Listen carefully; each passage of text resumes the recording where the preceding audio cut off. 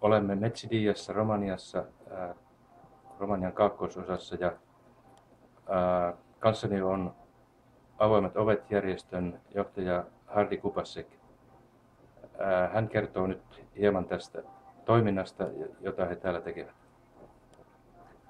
Thank you so much, Johanni, for uh, coming to see us today and for all the work that uh, Patmos Foundation is doing to bring uh, the hope and the, uh, the love of Jesus Christ to the people in Medgidia and other parts of Romania. Uh, here in Medgidia, we have a large percentage of the people that we work with, the poorest of the poor, are, are Muslim uh, people, and we are able to share the love of Jesus Christ in very practical ways. Uh, through the uh, Operation Christmas Child uh, program, uh, we have been able to bring the message of Jesus' birth, his life, his death, and his resurrection to literally thousands of children. And uh, this last year, uh, we were able to uh, go into a number of schools and villages where uh, the Muslim percentage is 99%. And these children had never heard the story of Jesus.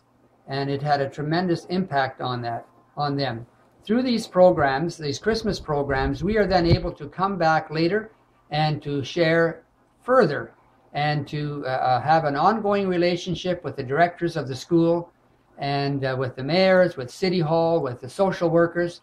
And it is a vehicle that has been very, very powerful, uh, Brother Johanni, here in, in Romania, particularly in our area. The impact is uh, very far reaching. Uh, we meet children sometimes and their parents that were in a program three, four, five years ago, and they have not forgotten. Their lives were so touched.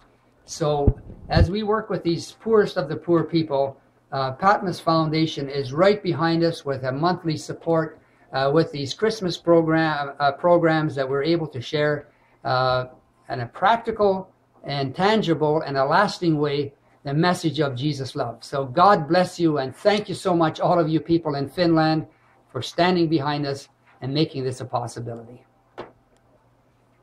Olen Romaniassa yhdessä äh, People to People-järjestön johtajan Niku Kalin kanssa valmistelemassa tämän vuoden joulunlapsikampanjaa.